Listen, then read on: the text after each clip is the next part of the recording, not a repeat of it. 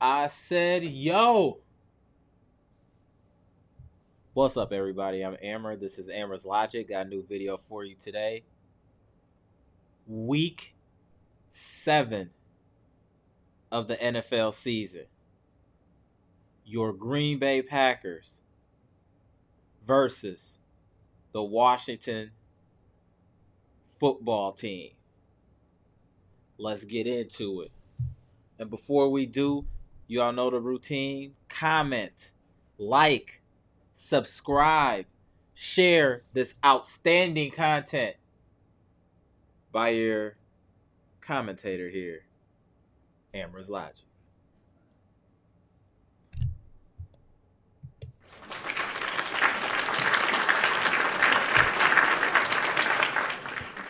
All right, let's get off into this. Uh, so uh, before we get into the numbers, I just like to talk about the game a little bit. Uh, during this win streak that we haven't lost since uh, the opening game against uh, the uh, the Saints, is that no matter how we played, we just figured out a way to win, or things have kind of gone our way. And I like to say that I feel like that's what that happened in this game as well. I don't think the score is actually indicative of how this game went and things that occurred in this game. You wouldn't really be able to tell by the score. I think you would think that we dominated and that we probably uh, just took our foot off the gas, and that's not what happened. So let's let's get into and uh, look at some of these numbers too. So let's chop this up real quick. So, all right, Packers win, dope, twenty four to ten, awesome, awesome. Uh, Aaron Rodgers, uh, beautiful game, 27 to 35, three touchdowns with three different receivers. That's all good. He was under a lot of duress. Our uh, offensive line is banged up. So we were we were uh, really really relying on the short pass game, which is more of the West Coast offense. I think George Seifert, uh, uh, my bad, Bill Walsh would have uh, been proud to see how the Packers played. A lot of slants, a lot of short routes, a lot of uh, it, it was a lot of depending on uh, yards after the catch, a lot of YAC yards. So uh, yeah, like I said, Bill Walsh should be proud of the way that Aaron Rodgers passed. He was very efficient and he made some just outstanding throws. Like the pass to Tonyan for a touchdown. I mean, he made some outstanding throws this game. This man, it, it's a treat. It's a pleasure to watch Aaron Rodgers play quarterback even when he doesn't have all the weapons, even even with the uh, a makeshift offensive line, he still just does miraculous things out there. I mean, so efficient. I mean, 27 to 35, 274, three touchdowns, no picks, a QBR 127. What else can you ask for? And uh, again, we weren't running the ball at all in this game. That's something that concerned me. I mean, Aaron Jones had six carries. I mean, that's crazy. I mean, Washington has a good defense, no doubt. They definitely have a, a strong defense. But again, we're not sticking to the run. I mean, like, what is this? We pay Aaron Jones all this money and he get six carries, bro? Like, why would he just have six carries? Like, that's why?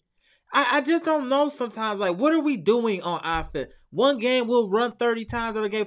Like, what is our identity? What are we doing out here? We need to be. I'm telling y'all, the second half of the season is gonna get real. We're gonna see some heavy teams. We need to know who we are. We're winning games, but we don't have an identity yet as far as the Packers.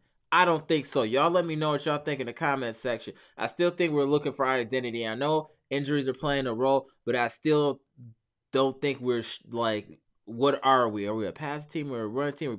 Like we still are not there yet, but we're still finding a way to win, which is great. Now in this game, uh, what you like if you didn't didn't watch the game, you wouldn't see is that Washington was walking up and down the field on us. Okay, like they were walking up and down the field on us. They had over 400 yards of total offense. What they would what would happen with them is when they got in the red zone, they're fumbling interceptions, uh, missed time scrambles to go in the end zone. Like everything that could go wrong went wrong for them in the red zone. Between the 20s, they were great. Inside the red zone, like I said, fumbles, interceptions, giving the giving the ball up on downs, just all types of weird, quirky stuff was happening. We had block field goal, just all types of stuff was going on that went in our favor, which is how we were able to get the lead. This wasn't by any any stretch of the imagination the Green Bay's best game. This was that they played good enough to win, and they took advantage of uh, turnovers. Literally, that's it.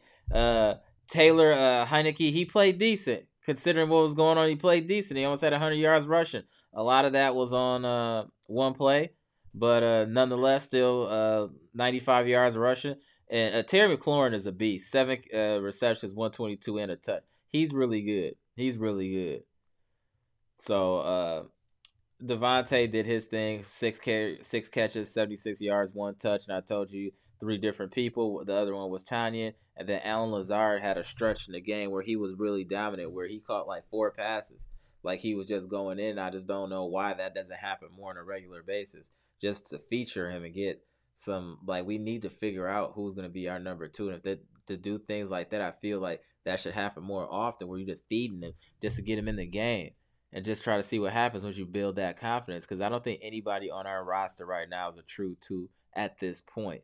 You guys let me know what you think in the comment section. Again, I'm not trying to be negative. I just want you guys, when you're watching this programming here, I'm not going to sugarcoat anything or, or some feel good story. I'm going to tell you what I see and how I feel about what's going on. Applaud me for keeping it solid. And we're a solid team.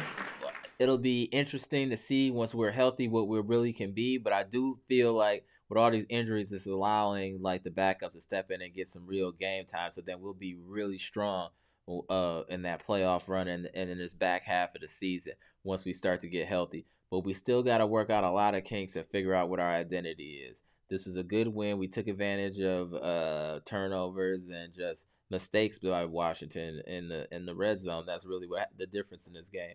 They were making mistakes in the red zone. We weren't. And just a fun stat before I, uh, I sign off here the Packers before this game on defense, 15 times they were uh, defending the red zone. 15 times people scored. I just want y'all to put that in y'all mental Rolodex. Joe Barry, you're still being watched, sir. Don't sleep. You're still being watched, sir. 15 times until the Washington. And that's because they were messing up not because of our defense.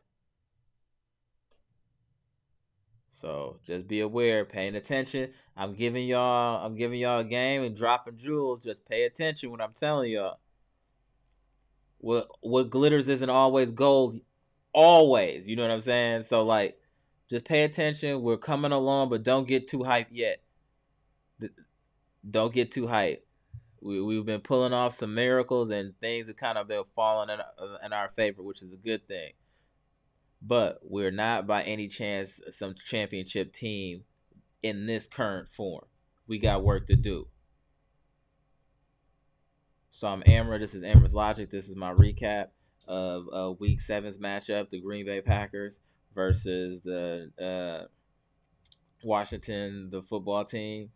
Washington football team, and uh, we won 24-10, and uh, we won six straight. All we gotta do is iron out those kinks, and we have a championship. We can make a championship run. We get a number two. We get a defense. We'll be straight. So uh, comment, like, subscribe, share my videos. What's wrong with y'all out here in these streets? Share my video. Get these get these likes up and shares. Go on.